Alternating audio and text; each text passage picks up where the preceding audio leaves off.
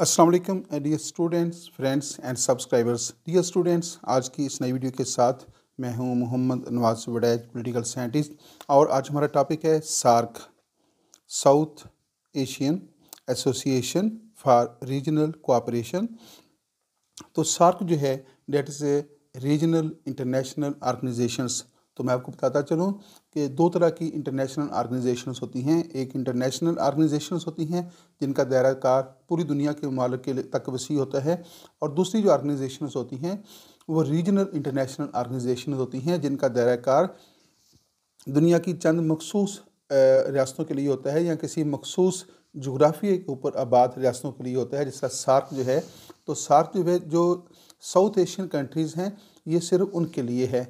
इस तरह जो अरब लीग है तो वो अरब ममालिक के लिए है। तो सार्क जो है, वो अपनी नेचर के अतबार से एक रीजनल इंटरनेशनल ऑर्गेनाइजेशंस है। तो दोबारा इसको देखिएगा। South Asian Association for Regional Cooperation. तो सार्क बेसिकली क्या है? एक रीजनल इंटरनेशनल ऑर्गेनाइजेशन है। रीजनल इंटरनेशनल ऑर्गेनाइजेशन जैसा कि मैंने बताया कि रीजनल इंटरनेशनल ऑर्गेनाइजेशंस ऐसी ऑर्गेनाइजेशंस को कहते हैं जिनका जो दायराकार है, वो किसी ख़ास इलाके के अंदर आबाद रियासतों के लिए होता है, जैसा आसियान है, वो भी एक रीजनल इंटरनेशनल ऑर्गेनाइजेशन है, सार्क है, अरब लीग है। तो इन, जो रीजनल इंटरनेशनल ऑर्गेनाइजेशंस होती हैं जैसा यूरोपियन यूनियन है तो उसमें सिर्फ़ यूरोपियन कंट्रीज़ शामिल हो सकते हैं एशियन कंट्रीज़ उसमें शामिल नहीं हो सकते। तो सार के अंदर सिर्फ़ जनूबी एशिया के जो मालिक हैं साउथ एशियन जो कंट्रीज़ हैं वो इसमें शामिल हैं जो साउथ एशिया से बहर जो रियासतें हैं वो इसकी मेंबर नहीं बन सकती। तो ऐसी ऐसी ऑर्गेनाइजेशंस जिनका दायरा कार किसी मखसूस इलाके के अंदर आबाद रियासतों के लिए मखसूस होता है ऐसी ऑर्गेनाइजेशंस को जो है रीजनल इंटरनेशनल ऑर्गेनाइजेशन जो है, वो कहा जाता है। मोहम्मद नवाज़ वडैज पॉलिटिकल साइंटिस्ट आप देख रहे हैं हमारा YouTube channel Mohammad Nawaz Wadaich political scientist तो आज आपके लिए जो है, हमने South Asian Association for Regional Cooperation की जो एक इलाकई बैन अवी तंजीम है रीजनल इंटरनेशनल ऑर्गेनाइजेशन उसके ऊपर जो है आपके लिए एक एपिसोड लेकर जो है, वो हम आए हैं। तो आइए इसका बकायदा तौर पे आगाज़ करते हैं। सार्क सार्क क्या है? The South Asian Association for Regional Cooperation. The South Asian Association for Regional Cooperation was established with the signing of the SAARC charter in Dhaka on 8 December 1985 तो सार की बुनियाद जो है, वो ढाका में रखी गई है which is the city of capital city of Bangladesh और 8 दिसंबर 1985 को जो है 8 दिसंबर उन्नीस सौ पचासी को सार्क जो है, जो रीजनल इंटरनेशनल ऑर्गेनाइजेशन है, जिसमें साउथ एशियन कंट्रीज़ शामिल हैं तो इस इस बैन अवी इलाकई बैन अवी तनजीम की बुनियाद 8 दिसंबर उन्नीस सौ पचासी को बांग्लादेश के शहर ढाका में जो है, वो रखी गई। नेक्स्ट है Initially, there were seven members in the SARC, but Afghanistan joined it on April 3, 2007. Now it has eight members. तो जब 1985 को जो है सार्क की बुनियाद रखी गई ढाका के अंदर तो उस वक़्त जो इसके इनिशियल मेंबर्स थे वो सेवन थे लेकिन जब 2007 के अंदर जो है, April three two two thousand seven को जो है, जब अफ़गानिस्तान को भी इस ऑर्गेनाइजेशन का हिस्सा बनाया गया तो उसके बाद जो है जो सार्क मेंबर्स हैं, उनकी तादाद बढ़कर जो है, वो आठ हो गई है। तो इस वक्त जो है सार्क की जो तंजीम है, वो आठ मेंबर्स पर मुश्तमिल है। शुरू में आगाज़ में इसके सेवन मेंबर्स थे, जब अफ़गानिस्तान में इसमें शामिल हुआ तो इसके मेंबर्स की तादाद जो है, वो बढ़कर आठ तक जो है, वो पहुँच गई है। नेक्स्ट है SAARC comprise of eight members states तो सार्क जैसा कि अभी मैं बता रहा था कि इस वक्त आठ मेंबर स्टेट्स इसकी हैं तो वो कौन कौन सी आठ मेंबर स्टेट्स हैं? नंबर वन ये अल्फ़ाबेटिकली नाम लिखे हुए हैं, अफ़गानिस्तान, बांग्लादेश, भूटान, इंडिया, मालदीव्स, नेपाल, पाकिस्तान, श्रीलंका। तो ये आठ ममालिक हैं जो कि सार्क के मेंबर्स हैं, जो साउथ एशिया में वाक़ हैं। दोबारा नाम सुन लीजिएगा। Afghanistan, Bangladesh, Bhutan, India, Maldives, Nepal, Pakistan and Sri Lanka. तो बांग्लादेश जो है वो रियासत है जो 2007 के अंदर जो है उसको इसकी मेंबरशिप हासिल हुई, जब 1985 को जो है सार्क की बुनियाद रखी गई थी तो उस वक्त बंगला, जो अफ़गानिस्तान है, वो इसका हिस्सा नहीं था। तो अफ़गानिस्तान जो है, वो 2007 को जो है वो सार्क का जो है, मेंबर बना है। तो इसके मेंबर स्टेट की तादाद बढ़कर सात से आठ हो गई है। The secretariat of the association was set up in Kathmandu on 17 January 1987 dear students जो सार्क की जो तंजीम है, इसका जो सेक्रेटेरिएट है, वो खटमंडू में कैम किया गया है which is the capital city of Nepal तो खटमंडू जो है, ये नेपाल का दारकूमत है, और सार्क का जो सेक्रेटेरिएट है, जो परमानेंट सेक्रेटेरिएट है वो जो है, वो खटमंडू के अंदर जो है, वो कैंप किया गया है। ये कब कैंप किया गया था? On January seventeen eighteen nineteen eighty seven. तो नाइनटीन एटी सेवन को जो है, खटमंडू में, नेपाल के शहर खटमंडू में जो है, इसका जो परमानेंट सेक्रेटेरिएट है, वो कैंप किया गया है। तो डी स्टूडेंट्स जो इस दायरे का जो सरबराह होता है, उसको सेक्रेटरी जनरल कहा जाता है। यानी जो सार्क है, सार्क का जो सरबराह है, वो सेक्रेटरी जनरल कहलाता है, जो उसकी जो सोशल एक्टिविटीज़ हैं, जो इकनॉमिक एक्टिविटीज़ हैं जहाँ दीगर जो इसके जितने भी मामला हैं, वो इनको कंट्रोल करता है और इसका जो एजेंडा होता है, इसको अमली शक्ल देने की जो है कोशिश करता है।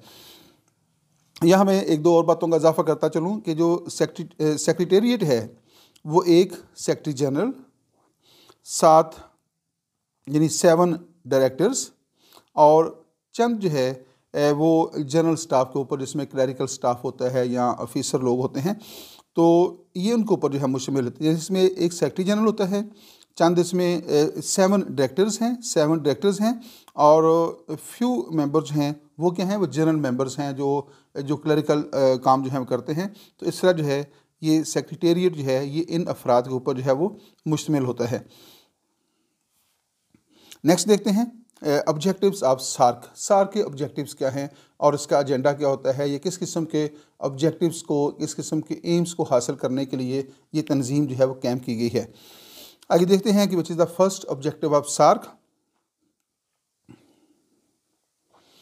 to promote the welfare of the people of the South Asia and to improve their quality of life तो सार्क का जो पहला ऑब्जेक्टिव है वो है to promote the welfare of the people of the South Asia तो south Asia के लोगों की जो वेलफेयर है, उसके लिए काम करना and to improve their quality of life और उनके मैार ज़िंदगी को बेहतर बनाना, ये सार का पहला जो है ऑब्जेक्टिव है। सेकेंड ऑब्जेक्टिव इसका है to accelerate the economic growth social progress and cultural development in the region तो दूसरा इसका ऑब्जेक्टिव ये है कि ये जो साउथ एशिया रीजन है, यहाँ जो है जो मुआशी सरगर्मियाँ हैं, उनको प्रमोट करना, उनको, उनकी सरगर्मियों को तेज़ करना और सोशल प्रोग्रेस जो है, जो समाजी तरक्की है, उसके लिए काम करना और कल्चरल डेवलपमेंट जो है, उसके लिए काम करना। तो ये इसका दूसरा बुनियादी जो है, वो ऑब्जेक्टिव है। नंबर तीन पे आ जाए to provide all individuals the opportunities to live in dignity and to realise our full potentials तो सार्क का जो तीसरा बुनियादी ऑब्जेक्टिव वो ये है कि यहाँ जो साउथ एशिया के अंदर लोग रहते हैं, जो यहाँ के जो बशिंदे हैं, जो पीपल्स हैं to provide all individuals the opportunity to live in dignity कि उनको ऐसे मौके फ्राहम किए जाएँगे कि वो बाइज़त जो है, वो पुरवकार जो है, वो ज़िंदगी बसर कर सकें and to realise their full potentials और अपनी सलाहितों का लोहा जो है, वो मनवा सकें। नेक्स्ट देखते हैं सार्क के जो ऑब्जेक्टिव्स के ऊपर बात हो रही है तो ये नंबर फोर पॉइंट है और ये नंबर फाइव पॉइंट है। नंबर फोर है to contribute to mutual trust understanding and appreciation of one and others problems तो इसका जो चौथा ऑब्जेक्टिव है सार्क का जो है ये है कि जो मेंबर्स रियासतें हैं, वो एक दूसरे के मामला को समझें और बामी तावन जो हैं वो उसको फ़रोग दें। And appreciation of one and others problems और एक दूसरे के जो इश्यूज़ हैं, उनको ना सिर्फ़ समझने की कोशिश करें, बल्कि उन इश्यूज़ को सॉल्व करने के लिए दूसरे के साथ तावन भी करें। और नंबर फाइव है to promote active collaboration and mutual assistance तो फिफ्थ इसका ऑब्जेक्टिव है to promote active collaboration and mutual assistance तो एक इसका ऑब्जेक्टिव ये है कि बाहमी जो इमदाद बाहमी है, उसको फ़रोग दिया जाए। जो कोलेब्रेशन है, जो तावन है रियासतों के दरमियान उसको जो है प्रमोट किया जाए, ये इसलिए ज़रूरी है क्योंकि ये साउथ एशियन जो नेशंस हैं जो जिसके मैंने भी आपको एक लिस्ट बताई, इनके जो इश्यूज़ हैं, इनके जो मिसाइल हैं, वो कमो बेश एक जैसे हैं। जिस किस्म के मिसाइल का सामना पाकिस्तान को है, उसी किस्म के मिसाइल का सामना जो है इंडिया को है, वहीं मिसाइल जो है बांग्लादेश में श्रीलंका में तो इस पूरे खत्े के जितने भी कंट्रीज़ हैं, उनके कमो बेश मिसाइल एक जैसे हैं। तो इस तंजीम का बुनियादी मकसद ये है कि इन रियासतों के जो मसाइल हैं, तमाम रियासतें मिलकर जो हैं, बाहमी तावन से जो है, उनको हल करने की जो है, वो कोशिश करें। हाँ जी, दोबारा इसको सुन लीजिएगा नंबर फिफ्थ को to promote the active collaboration and mutual assistance in the economic social cultural technical and scientific fields यानी सोशल फ़ील्ड के अंदर economic cultural technical and scientific जो शोबे हैं, उनके अंदर जो है एक दूसरे के साथ तावन करना और एक दूसरे के तावन के साथ जो है, एक दूसरे के तावन से मदद हासिल करके जो है, इन सरगर्मियों को, इन शोबों के अंदर जो है, तरक्की करना जो है, ये इसका जो है एक ऑब्जेक्टिव है। नेक्स्ट है नंबर सिक्स और नंबर सेवन और नंबर एट ये पॉइंट हैं। तो नंबर सिक्स है to strengthen the cooperation with other developing countries तो जो दीगर डेवलपिंग कंट्रीज़ हैं, उनके साथ भी जो है तावन को फ़रोग देना है। ये नंबर सिक्स है और नंबर सेवन है to strengthen the cooperation among themselves in international forums on matters of the common interest तो एक उसका ऑब्जेक्टिव ये है कि जो मुख्तलिफ़ इंटरनेशनल फोरम्स होते हैं, जैसा यूनाइटेड नेशन का फोरम है या दीगर मुख्तलिफ़ तनजीमें हैं तो इन इसका मतलब ये है कि इस जो सार्क मेंबर स्टेट्स हैं, वो दीगर फोरम्स के ऊपर भी जो है एक दूसरी रियासत के साथ तावन करेंगी। तो एक दूसरे के साथ तावन करके जो है एक दूसरे को सपोर्ट करेंगी ताकि ये रियासतें भी जो हैं, वो तरक्की की दौड़ में जो है आगे बढ़ सकें। दोबारा सुनिएगा number seven to strengthen the cooperation among themselves in international forum on matter of common interest जो कॉमन इंटरेस्ट है उसके ऊपर जो है तमाम रियासतें मिलकर जो है काम करेंगी। और नंबर एट है and to cooperate with international and regional organisations तो जो दीगर इंटरनेशनल ऑर्गेनाइजेशंस हैं और जो दीगर रीजनल इंटरनेशनल ऑर्गेनाइजेशन हैं, सार्क उन तमाम तनजीमों के साथ जो है कोऑपरेट करेगी, तावन करेगी, ताकि जो सिमिलर एम्स हैं और सिमिलर जो पर्पसेस हैं, जैसे सोशल हैं इकोनॉमिक हैं कल्चरल हैं साइंटिफिक हैं एजुकेशनल हैं तो ये जो पर्पसेस हैं सार्क के और जो दीगर जो रीजनल ऑर्गेनाइजेशंस हैं या इंटरनेशनल ऑर्गेनाइजेशंस हैं, उनके भी यही पर्पसेस हैं। तो ये मिलकर जो है, इन ऑब्जेक्टिव्स को जो है, वो अचीव करने की कोशिश करेंगी। नेक्स्ट है official names of SAARC current members तो इस वक्त सार्क मेंबर्स की जो तादाद है, जैसा कि मैंने शुरू में आपको बता दिया कि वो टोटल इसकी तादाद है आठ। तो इनके जो, वैसे तो लिस्ट में आपको बता चुका हूँ कि इसमें कौन कौन से आठ मुल्क शामिल हैं। तो यहाँ उनके जो ऑफिशियल नेम्स हैं, उनको हम डिस्कस कर रहे हैं। नंबर वन है इस्लामिक रिपब्लिक ऑफ़ अफ़गानिस्तान तो अफ़गानिस्तान जो है, उसका जो पूरा नाम है, वो है Islamic Republic of Pakistan sorry Islamic Republic of Afghanistan ये पहले नंबर पे है और दूसरे नंबर पे है पीपल्स रिपब्लिक ऑफ़ बांग्लादेश तो बांग्लादेश जो है, उसका जो ऑफिशियल नाम है, वो है पीपल्स रिपब्लिक ऑफ़ बांग्लादेश तो अफ़गानिस्तान भी रिपब्लिक है और जो बांग्लादेश है, वो भी रिपब्लिक है। नंबर तीन है किंगडम ऑफ़ भूटान तो भूटान जो है, वहाँ पे किंगडम पाई जाती है, यानी वो रिपब्लिक नहीं है। तो नंबर तीन पे उसका ऑफिशियल नाम है किंगडम किंगडम ऑफ़ भूटान और नंबर फोर पे है रिपब्लिक ऑफ़ इंडिया तो इंडिया भी एक रिपब्लिक है रिपब्लिक ऑफ़ इंडिया और नेक्स्ट है रिपब्लिक ऑफ़ मालदीव्स मालदीव भी एक रिपब्लिक है। Federal Democratic Republic of Nepal. तो नेपाल उसके बाद है और इस्लामिक रिपब्लिक ऑफ़ पाकिस्तान। इसमें पाकिस्तान का नाम भी शामिल है। Democratic Socialist Republic of Sri Lanka और उसके बाद जो है श्रीलंका जो है उसका नाम है और वो भी जो है रिपब्लिक है। तो डी स्टूडेंट्स यहाँ पे भूटान को छोड़कर जो है बाकी जो तमाम रियासतें हैं, वहाँ पे डेमोक्रेसी पाई जाती है और वहाँ पे रिपब्लिकन स्टेट्स का कंसेप्ट पाया जाता है।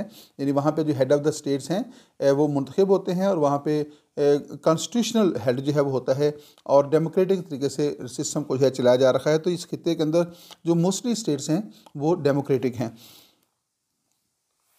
नेक्स्ट क्वेश्चन देखते हैं। SAARC was formed in Dhaka on तो ये क्वेश्चन पहले तो डिस्कस हो चुका है, लेकिन इसको हम दोबारा एज ए ऑब्जेक्टिव कर रखे हैं। सार्क जो है ढाका के अंदर उसकी कब बुनियाद रखी गई? November seven, nineteen eighty four, ये गलत है। और October three, nineteen eighty four, ये भी गलत हो गया। और, December eight, nineteen eighty five. Third option is the correct option. SAARC was formed in Dhaka on December eight 1985 is the correct option. तो तीसरा ऑप्शन दोस्त है। नेक्स्ट क्वेश्चन की तरफ़ चलते हैं। Where was SAARC established SAARC की बुनियाद कहाँ रखेगी? सार्क कहाँ पे कैम हुआ? SAARC was established in Dhaka Dhaka क्या है? Dhaka is the capital city of Bangladesh the capital city of Bangladesh और December eight nineteen eighty five को जो है सार की ढाका के अंदर जो है, जो कि बांग्लादेश का कैपिटल सिटी है, वहाँ पे इसकी बुनियाद रखी गई थी। नेक्स्ट पॉइंट है which is the smallest and biggest country in SAARC तो सार्क के जो एट मेंबर्स हैं, उसमें आपने बताना ये है कि which is the smallest country and which is the biggest country area wise यानी रकबे के अतबार से सार्क मेंबर स्टेट जो है, उसमें सबसे छोटी रियासत कौन सी है और रकबे के अतबार से सार्क मालिक में सबसे बड़ी रियासत कौन सी है? Among the eight countries of SAARC India is the biggest country area wise तो इंडिया रकबे के अतबार से सबसे बड़ी रियासत है।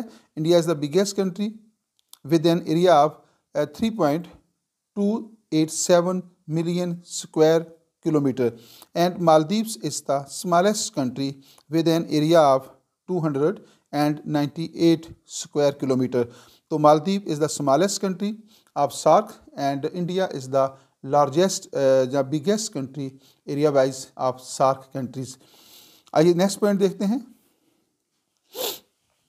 Who is the first women president of SAARC तो आपने बताना ये है कि who is the first women president of SAARC तो सार्क जो मालिक हैं उसका जो सेक्रेटरी जनरल होता है, उस, जो उसका हेड होता है, जो चीफ होता है उसमें से पहली वुमेन जो है, वो उसकी हेड जो है, वो कौन थी? Who is the first women president of SAARC the answer is Fathimath Dhiyana Saeed Fathimath Dhiyana Saeed the Maldivian diplomat. और इसका तल्लक मालदीव के साथ था और ये सार की पहली खतून जो है वो हेड थी। तो फातिमा, दिहाना, सईद जो हैं वो सार की पहली ख़तून जो है वो प्रेसिडेंट हैं या उसकी हेड हैं और इनका तल्लुक जो है वो मालदीव के साथ था। नेक्स्ट पॉइंट है currently how many members are in the SAARC organisation इस वक्त जो है सार्क मेंबर्स की तादाद कितनी है? तो डियर स्टूडेंट्स बड़ी तफसील के साथ बात हो चुकी है एट पहले सेवन थी, लेकिन 2007 के अंदर जो है, जब अफ़गानिस्तान इसमें शामिल हुआ तो ये तादाद बढ़कर जो है वो एट हो गई है। तो correct answer is eight members आगे देखते हैं कि which is the next question which country was a major donor in financing the SAARC SAARC के जो एट मेंबर्स हैं उनमें कौन सा मुल्क है जो कि सार्क तंजीम के जो फिनेंशियल मैटर्स हैं, उनको चलाने के लिए सबसे ज़्यादा जो है डोनेशन देता है तो इन आठ मेंबर्स में से श्रीलंका जो है उस, वो सर फहरिस्त है। अगरचे श्रीलंका इस वक्त जो है वो जो है, वो क्राइसिस का शिकार है, लेकिन which country was a major donor in financing the SAARC? Pakistan, Sri Lanka, India? The correct answer is Sri Lanka. Next point की तरफ़ चलते हैं. SAARC law was accorded recognition in which year SAARC law जो है जो SAARC कवानीन है SAARC law was accorded recognition in which year कब उसको जो है उसके कवानीन को रिकगनाइज किया गया? 91, 1992, 1994 the correct answer is 1994 SAARC law was accorded recognition in which year the correct answer is 1994 तो सार्क लॉ जो है, उसको 1994 को जो है रिकगनाइज था किया गया था। आगे देखते हैं कि which is the next question the next question is in which year SAARC law commission was formulated SAARC law commission was formulated in which year? 1990 1991 92 the correct answer is 1991 in which year sarc law commission was formulated? The correct answer is 1991 आइए देखते हैं कि which is the next question name the first secretary general of SAARC SAARC जो है, जिसकी बुनियाद जो है 1985 के अंदर जो है, बांग्लादेश के कैपिटल सिटी ढाका में रखी गई थी। तो आपने बताना ये है कि who was the first secretary general of SAARC तो उसमें Nazam, Karim, Abu Hasan Rafi Nizami, the correct answer is Abu Hasan Abul Hasan was the first secretary general of SAARC. Abul Hasan Abul Hasan was the was the first secretary general of SAARC. तो SAARC का जो पहला secretary general है, उसका नाम क्या है? अबुल हसन तो आइए नेक्स्ट क्वेश्चन की तरफ़ चलते हैं। Who is the current secretary general of SAARC? तो उसमें जो इस वक्त सिटिंग जो सार्क सेक्रेटरी जनरल है कौन है? Doctor Sheel Kant Sharma Kumar Karishta, Esala Ruwan Weerakoon? The correct answer is Esala Ruwan. Third option is the correct option Esala Ruwan Weerakoon. Weerakoon दोबारा सुन नाम, नाम सुन लीजिएगा। Esala Ruwan Weerakoon is the sitting secretary general of SAARC आइए देखते हैं कि which is the next question which of the following country is not the member of the SAARC तो नीचे लिस्ट दी हुई है।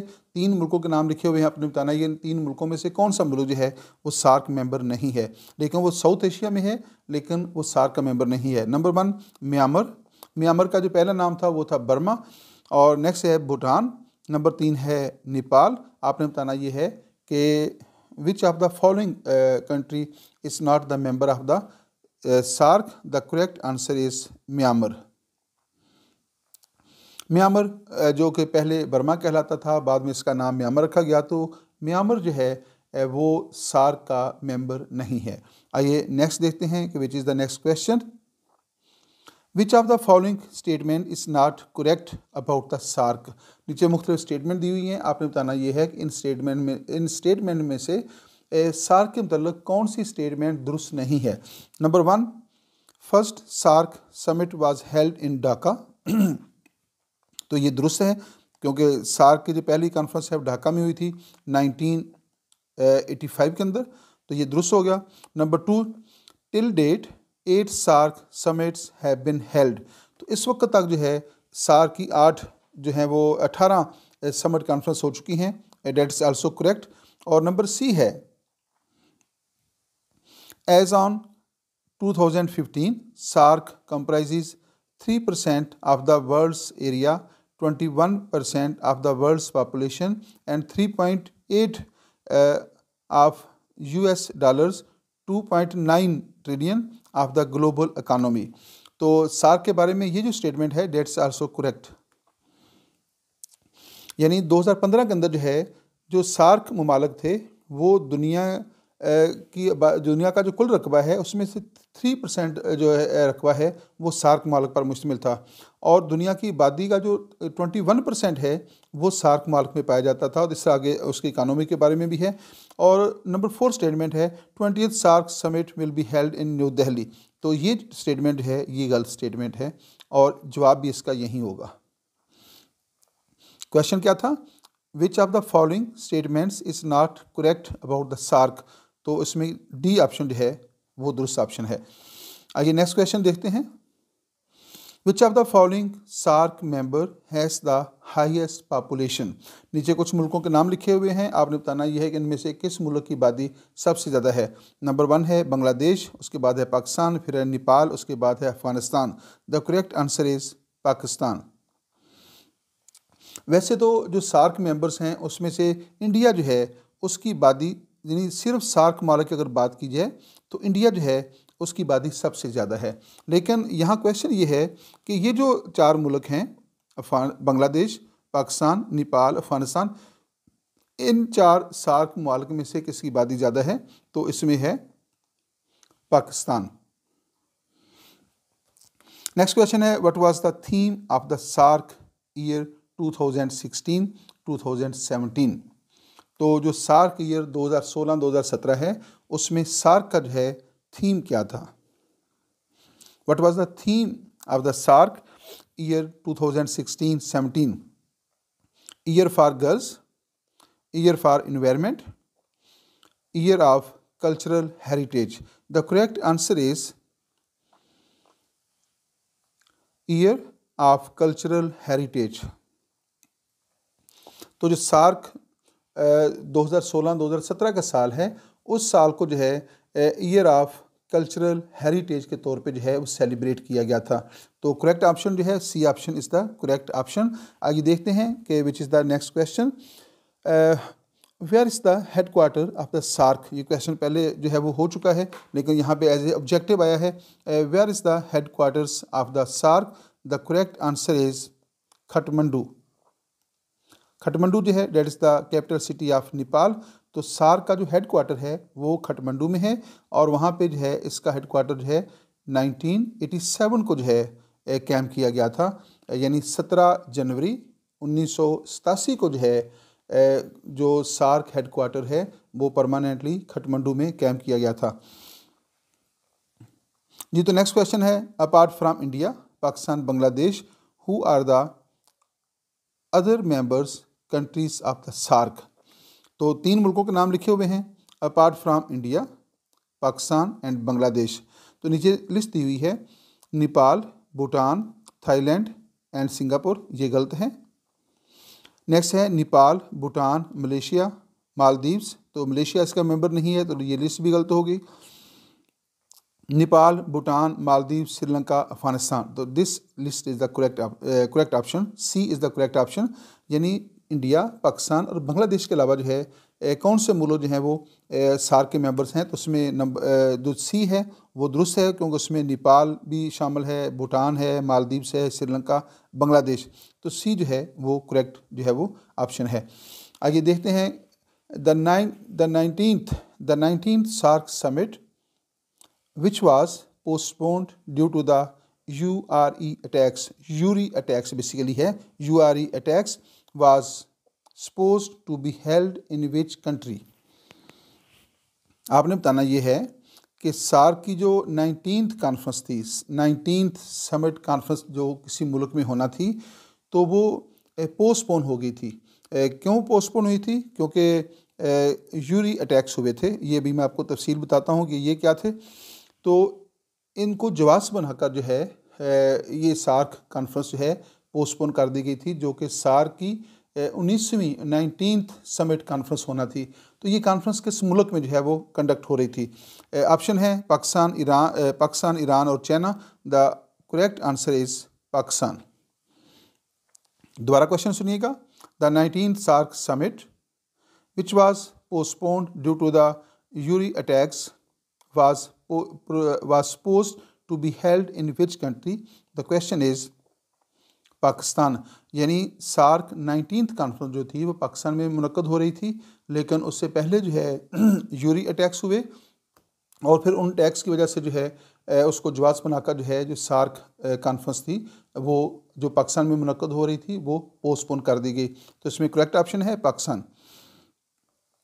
तो ये यूरी टैक्स क्या थे? आइए देखते हैं।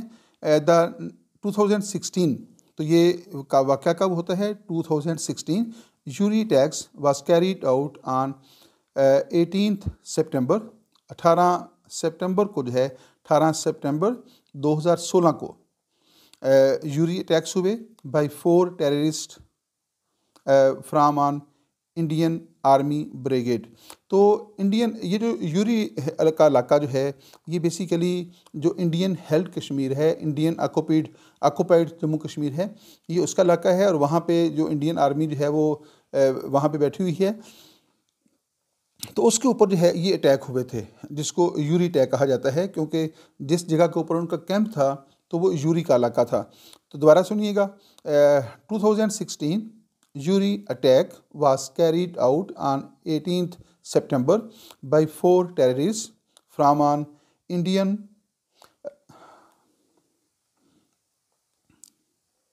ये नहीं होगा।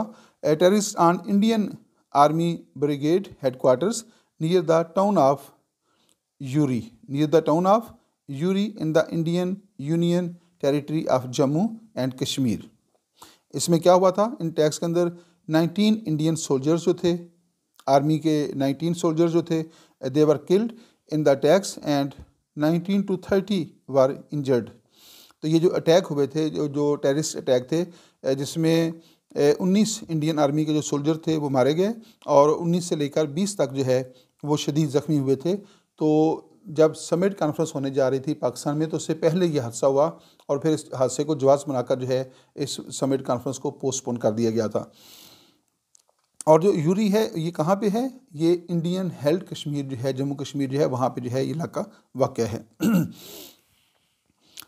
नेक्स्ट है पहले स्पेस दी हुई है, SAARC summit was which was suppose to be held in Islamabad Pakistan on fifteen sixteen November 2016 तो 2016 को जो है जो सार कॉन्फ्रेंस पाकिस्तान में जो है वो मनद होने जा रही थी, पाकिस्तान के दारकूमत इस्लामाबाद में तो वो कौन सी जो थी सार कॉन्फ्रेंस थी? 16 थी 15 थी 19 थी तो करेक्ट आंसर इज़ नाइनटीन आइए देखते हैं कि which is the next question 2010 2020 यानी 2010 20 is the SAARC decade of the right of the labour the rights of the women the intra regional connectivity तो इसमें बताना यह है कि which is the correct option C option is the correct option दोबारा सुनिएगा। 2010 and 2020 यानी 2000 10 से लेकर 2020 तक ये जो डेकेड है, ये 10 साल जो अरसा है, इसको सार्क में किस नाम से सेलिब्रेट किया गया था? In the SAARC decade of किस नाम से इसको कहा गया? इसका नाम था इंट्रा रीजनल कनेक्टिविटी तो ये जो डेकेड है from 19 2010 to 2020 is celebrated the name of intra regional connectivity next है which of the following SAARC member has best H D I rank in the whole group तो आपने बताना ये है कि ये जो सार्क मेंबर्स के नाम लिखे हुए हैं इंडिया पाकिस्तान श्रीलंका इनमें से कौन सा मुल्क है जो कि which of the following SAARC members इन, इनमें से कौन से सार्क मेंबर है which has the best H D I human development index H D I H D I क्या है? Human development index rank in the whole group तो उसमें जवाब है Sri Lanka. Which is the following SAARC members has best H D I यानी human development index rank in the whole group the answer is Sri Lanka आगे देखते हैं कि H D आई की क्या क्राइटेरिया क्या है। एक्सप्लेनेशन इसकी है। All the members of the SAARC have H D I human development index rank above hundred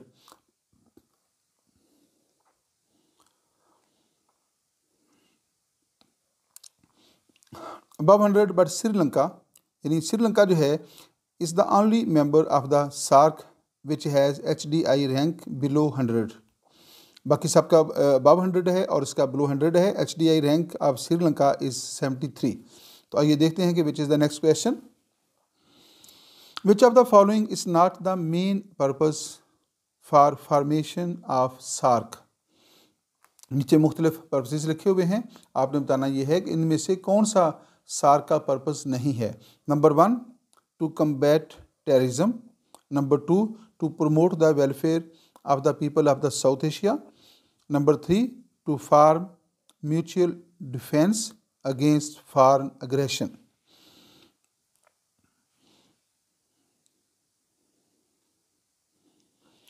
तो यानी इसमें आपने बताना यह है कि which of the following is not the main purpose of the formation of SAARC ये जो तीन ऑब्जेक्टिव दिए हुए हैं पर्पसेस दिए हुए हैं टू कम्बैट टेररिज्म टेररिज्म का मुकाबला करना या उसको ख़त्म करना to promote the welfare of the people of the South Asia South Asia के लोगों की प्रमोशन के लिए, उनकी वेलफेयर के लिए काम करना, और to form mutual defence against the foreign aggression या बैरूनी मुदाखलत के ख़िलाफ़ जो है म्यूचुअल डिफेंस जो है, उसको डेवलप करना।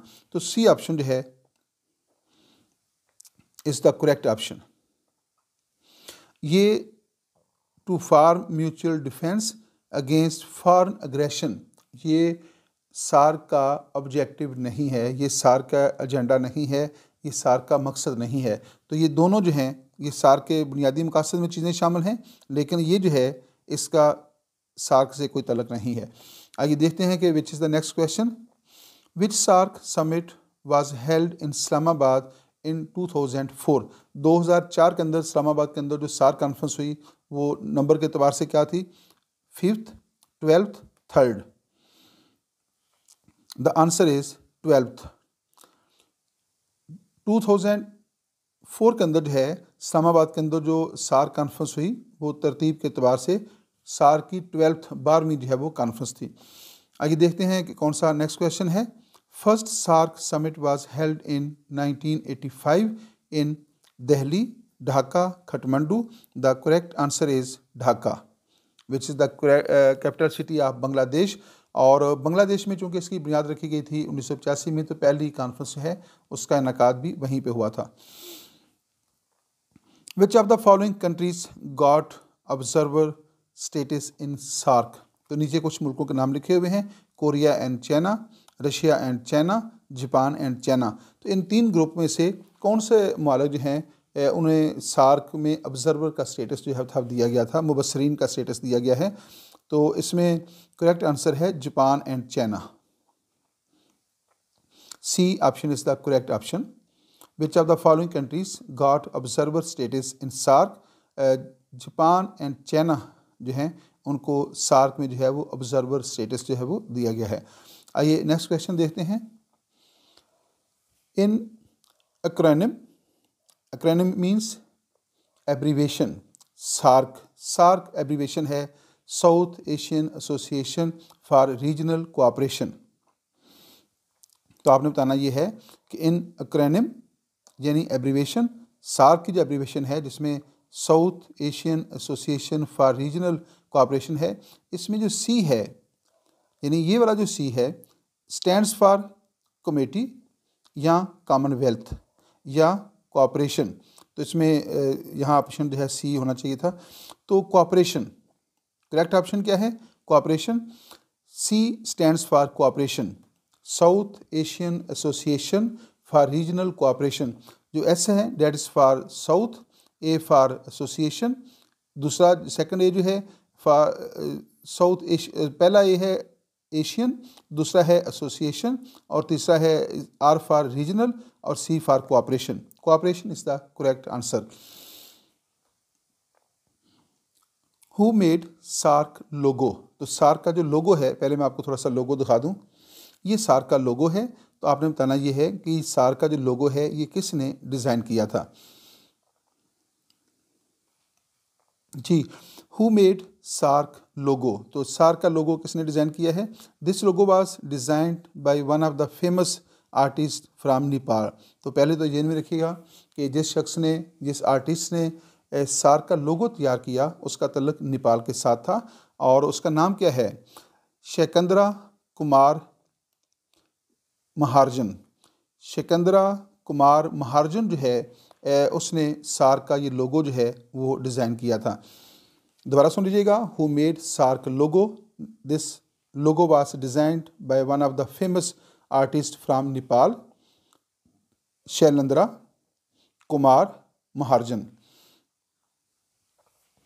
और ये लोगो है, जिसमें ये दो जो हैं वो पते हैं डैनिया के, और इसमें ये दो हाथ दिए गए हैं। ये वाले जो हैं, ये दो हाथ हैं जुड़े हुए। और इसके दरमियान जो है ये मुख्तलिफ़ जो है वो बर्ड्स हैं। इसके बारे में नेक्स्ट क्वेश्चन आ रहा है। सार्क का ये लोगो है, इसको आप जेन में रखिएगा। नेक्स्ट क्वेश्चन है जी eight pigeons on SAARC logo represents the eight members countries dear students दोबारा लोगों की तरफ़ चलते हैं। ये जो आपको नज़र आ रहे हैं, ये देखें, ये जो मैं आपको मार्क कर रखा हूँ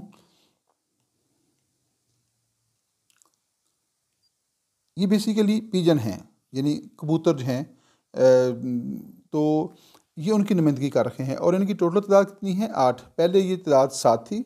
अगर आपको पुराना लोगो देखें 2007 से पहले का तो उसमें ये जो सिंबल हैं पिजन जो हैं, इनकी तादाद सेवन होगी। तो 2007 के अंदर जो है, जब अफ़गानिस्तान को भी इसमें शामिल किया गया तो ये मेंबर्स की तादाद जो है बढ़कर आठ हो गई थी। अब इनकी तादाद आठ है। दोबारा इसको देख सकते हैं आप।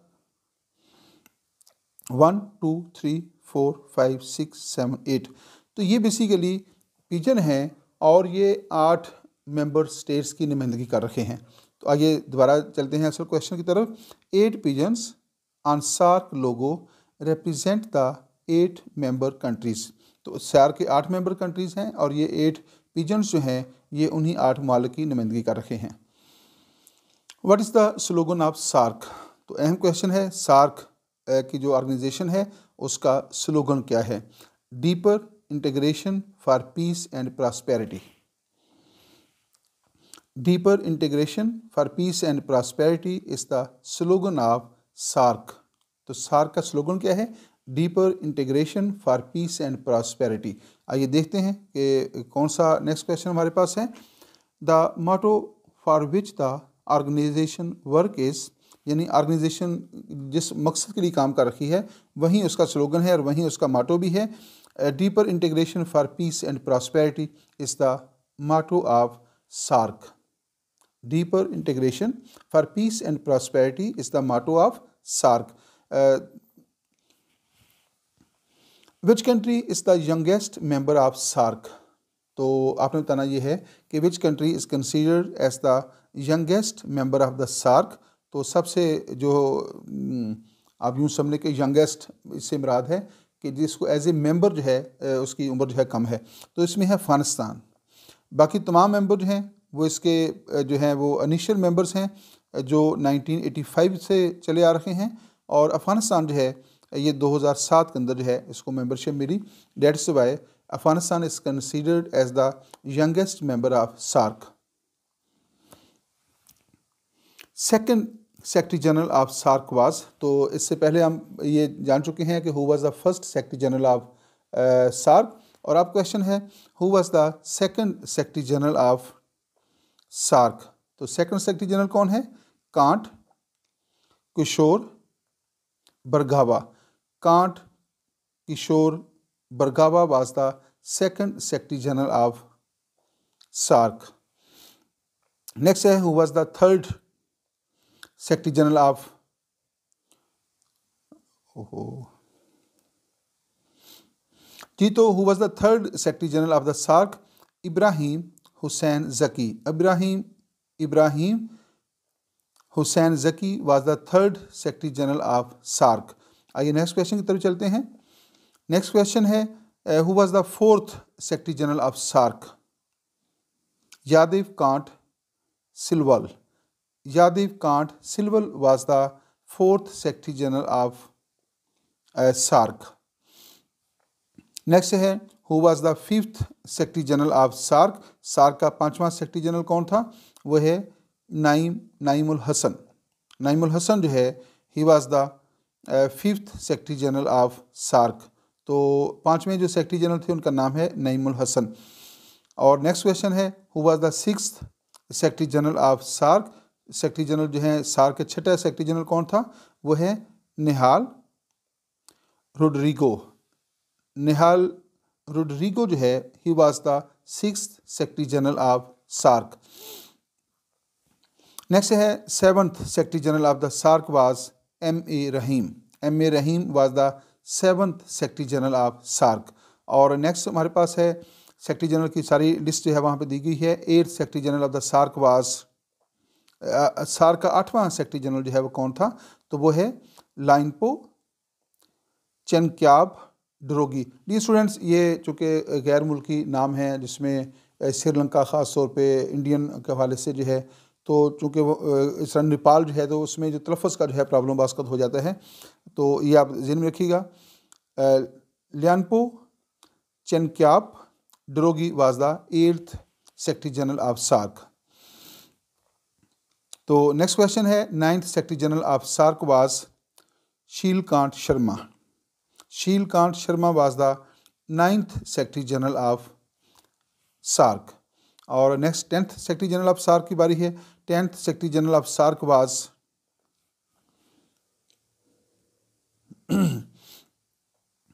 Fatima Dhiyana Saeed Fatima Dhiyana Saeed was the tenth secretary general of the SAARC and Fatima Dhiyana Saeed was the first women secretary general of SAARC तो ये सार्क की पहली ख़तून सेक्रेटरी जनरल भी हैं और ये टेंथ सेक्रेटरी जनरल भी हैं। उनका तल्लु जो है वो मालदीव के साथ था। आइए नेक्स्ट क्वेश्चन की तरफ़ चलते हैं। Eleventh secretary general of SAARC was Ahmed Saleem Ahmed Saleem was the eleventh secretary general of SAARC twelfth secretary general of the SAARC was Ahmed Saleem, ये दो टर्म इन्होंने पूरी की हैं। ये अलेवंथ सेक्रेटरी जनरल भी थे और फिर ट्वेल्थ सेक्रेटरी जनरल भी हैं, अहमद सईद। और देखते हैं कि नेक्स्ट यहाँ पे इस वीडियो का अख्ताम हो रहा है। Thanks for watching me YouTube channel Mohammad Nawaz Wadaich political scientist the student इस वीडियो के, इस वीडियो का देखने से जो है, आप की जो ओपिनियन है, उसका हमको इंतज़ार रहता है। आप लाजमी तौर पे जो है, अपना फीडबैक दीजिएगा, अपनी ओपिनियन दीजिएगा। आपको ये वीडियो कैसी लगी है? और आपका फीडबैक जो है वो हमारे लिए बड़ी रहनमाई का जो है वो ज़रिया बनता है। तो नेक्स्ट अगर कोई वीडियो आपको प्रपोज करना चाहेंगे तो उसके ऊपर भी हम काम करेंगे, वरना हम अपनी रूटीन के मुताबिक जो है, जो हमारी अपनी जो प्रेफरेंसेस होती हैं उनके मुताबिक जो है वो हम काम करते रहेंगे।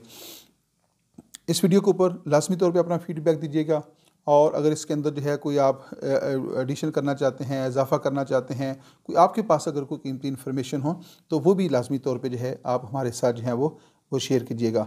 तो इजाज़त दीजिएगा। Once again thanks for watching me YouTube channel Allah हाफिज़।